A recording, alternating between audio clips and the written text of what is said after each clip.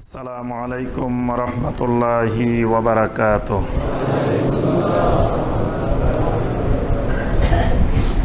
আঠারো নম্বর জাল হাদিস আউ্বালুমা খালাক আল্লাহ নুরি, যে আল্লাহ পাক সর্বপ্রথম আমার নূর বানাইছেন।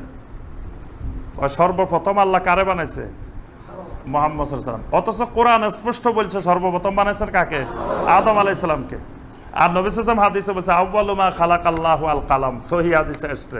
যে আল্লাহ পাক সর্বপ্রথম বানাইছেন যে জিনিস, সেটা কলম। অথচ আমাদের দেশে প্রসিদ্ধ হলো আব্বালুমা খালাক আল্লাহ নুরি। আল্লাহ পাক সর্বপ্রথম আমার নূর বানাইছেন।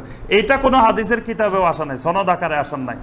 মানে এটা সনদবিহীন মিথ্যা এবং বানোয়াট কথা।